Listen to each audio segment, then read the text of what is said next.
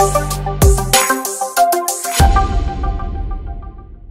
La Comisión de Ética Parlamentaria aprobó ayer iniciar una investigación preliminar contra seis congresistas de Acción Popular que han sido identificados como los niños a partir de la declaración de la lobista Carolyn López ante la Comisión de Fiscalización y Contraloría. Las indagaciones serán contra los legisladores Raúl Toroteo Carbajo, Ilich López Ureña, Juan Moris Ellis, Darwin Espinosa Vargas, Elvis Vergara Mendoza y Jorge Flores Ancachi, quienes apoyarían al gobierno con sus votos en el Parlamento a cambio de obras para sus regiones. Cada caso fue sometido a votación por separado. Se aprobó iniciar pesquisas contra Doroteo con nueve votos a favor, cero en contra y dos abstenciones. Por su parte, contra Mori se tuvo como resultado con 12 votos a favor, cero en contra y dos abstenciones. En tanto, con 11 votos a favor, cero en contra y 3 se aprobó investigar a Flores Ancachi y a Espinosa Vargas con 13 votos a favor, 0 en contra y 2 abstenciones. Finalmente a López y a Vergara se les aprobó indagarlos de oficio con 14 votos a favor, 0 en contra y 1 abstención. El 10 de mayo, Héctor Ventura, presidente de la Comisión de Fiscalización, envió la lista de los congresistas de Acción Popular señalados por Carolyn López de tener vínculos con el gobierno en el caso Puente Tarata 3. La semana pasada se iba a evaluar este pedido, pero finalmente no se vio. En paralelo, los legisladores legisladores Elvis Vergara, Jorge Flores y Juan Mori entregaron de forma simbólica sus pasaportes ante el Ministerio Público. Esto es lo que señaló el congresista Vergara, vocero de la bancada de Acción Popular.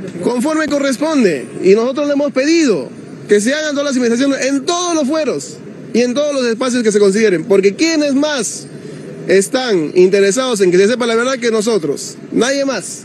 Además de la entrega simbólica de estos pasaportes, ¿están realizando otros actos de colaboración con la Fiscalía?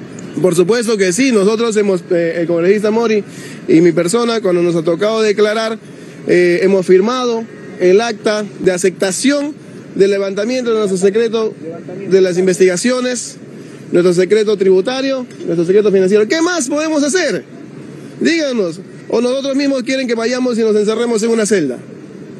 Muestren una prueba, señores.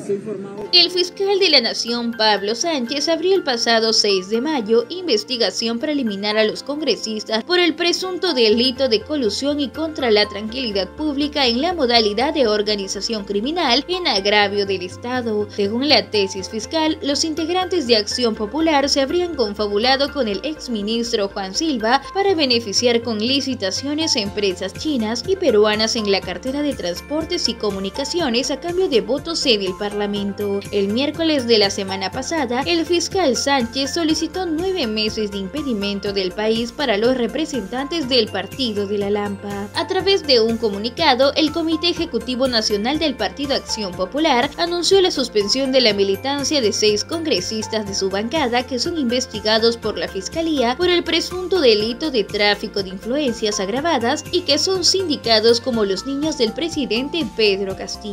Tal medida constituye de por sí un agravio causado por los mencionados congresistas a la línea histórica de honestidad dejada como un valor en la política peruana por nuestro jefe y fundador Fernando Belaúnde Terry, y se agregó que después que se escucharon los descargos de los congresistas ante la Secretaría Nacional de Disciplina, se determinó que en resguardo de los principios éticos y morales que constituyen fundamento de la doctrina del partido. ¿Tú qué opinas sobre la investigación que inició la Comisión de Ética a los seis congresistas de Acción Popular que son llamados los niños? Déjamelo saber aquí en la cajita de los comentarios. No te olvides darle like a este video, suscribirte a nuestro canal y activar la campanita de notificaciones para mantenerte siempre informado. Nos vemos en el próximo video.